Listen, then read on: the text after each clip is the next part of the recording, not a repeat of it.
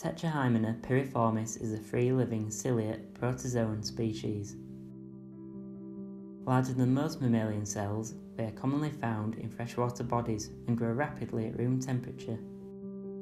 You may recognise them from one of your GCSE or A-level textbooks as they have several adaptations to help them survive. Tetrahymena are unicellular and eukaryotic.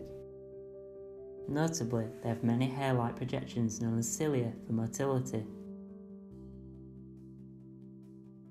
They also show nuclear dimorphism, which means they have a macronucleus for regular cell processes and a usually dormant micronucleus for the cell's germline.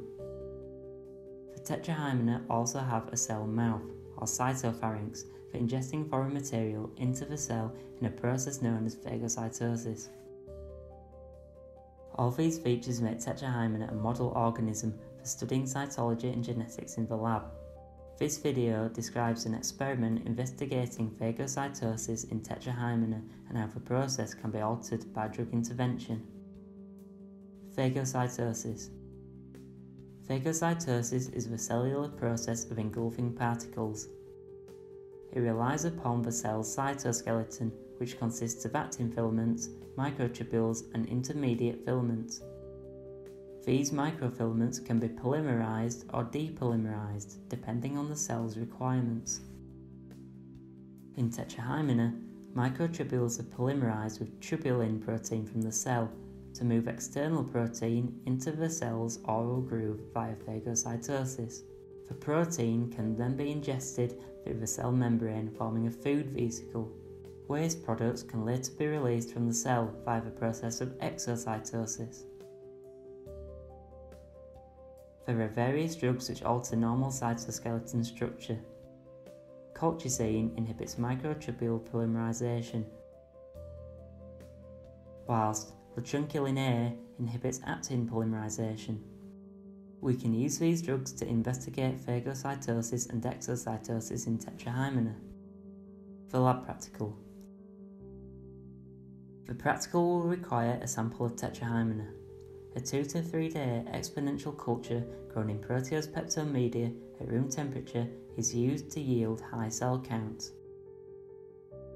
These cells should then be incubated in India ink for 30 minutes and suspended using the centrifuge.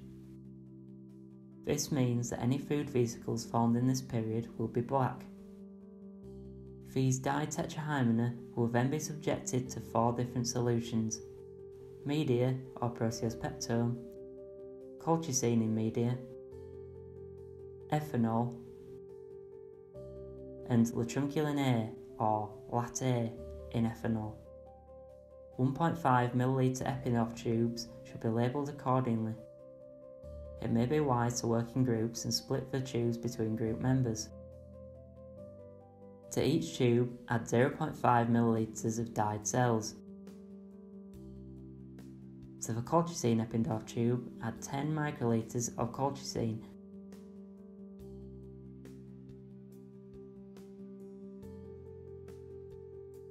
And to the media Eppendorf tube, add 10 microliters of media. Then, to the ethanol Eppendorf tube, add 1 microliter of ethanol and to the lat A Eppendorf tube, add 1 microliter of lat A. Tubes can then be left to incubate on the bench for 10 minutes. Each tube should then receive 0.1 milliliters of carmine red dye. New vesicles formed in the cell should then be red